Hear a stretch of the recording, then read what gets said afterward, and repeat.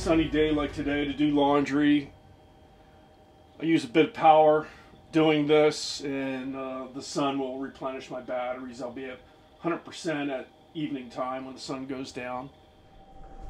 So I'm going to show everybody how I do laundry off-grid out here in the middle of nowhere. Got a little washing machine, you got the wash machine side, and you have the spin dry side. And this is the drain tube, which I just put in a bucket. When the bucket fills up, I empty it outside. So you can't put a lot of clothes in there. I usually just you know, a small handful, maybe two pairs of pants at the most. Uh, if you were going to put jeans in there, I would just do uh, one pair of jeans. But I don't wear jeans, so.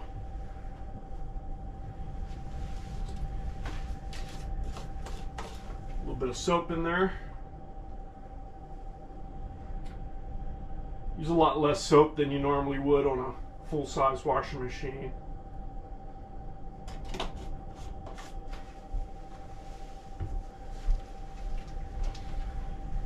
It usually takes about five gallons to fill it up.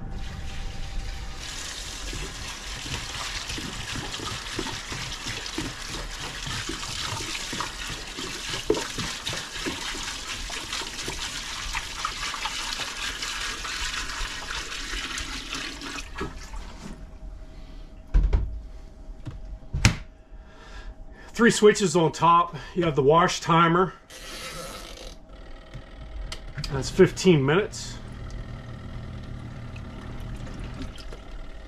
It's a little pulse. It'll spin it around, then it'll go the opposite direction, then turn around and go back the opposite direction for 15 minutes.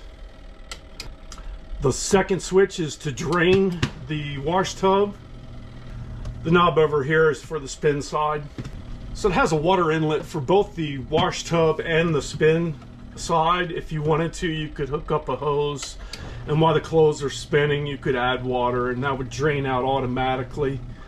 The wash basin side, you have to move the center knob to the drain position to empty the water out of that one. But I don't use these out here. I just use seven gallon water jugs.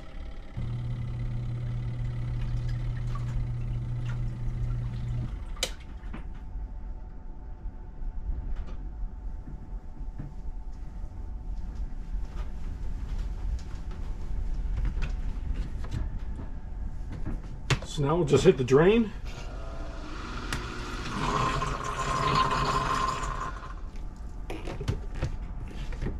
Dump the bucket outside and I'll be right back. fill it back up for the rinse cycle.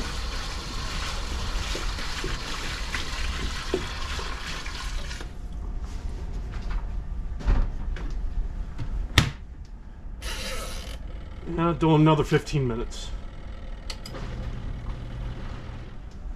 So the rinse cycle is done. Go ahead and pump that water out into the bucket.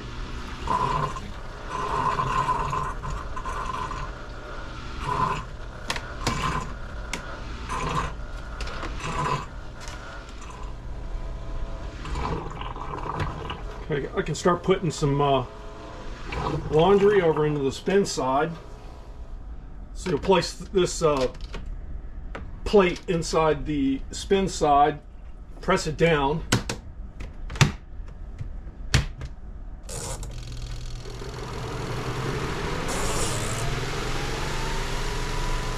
Set it for five minutes and that'll be basically dry almost by the time it comes out of there.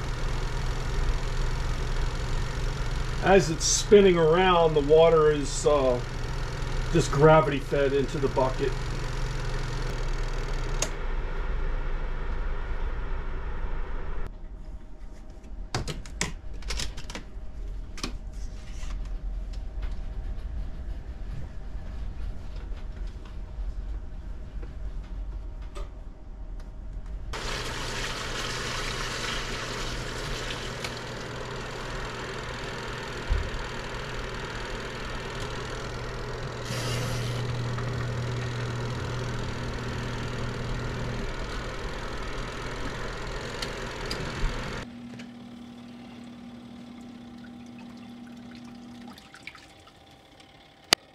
So for a size comparison, I just stuck a boot on top of the washing machine.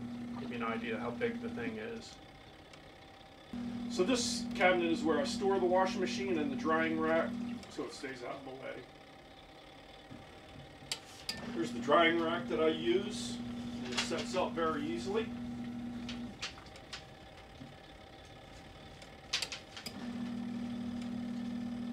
Some little rubber bands that go over the ends.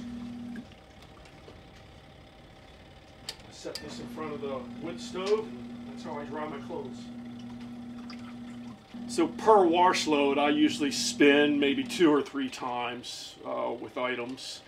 Put a couple in there and press this this plate down on top of them, squeeze out a little bit of the water, and set it on five minutes on the timer, and uh, they'll be almost dry by the time they come out under sink buckets double for uh, dirty laundry water.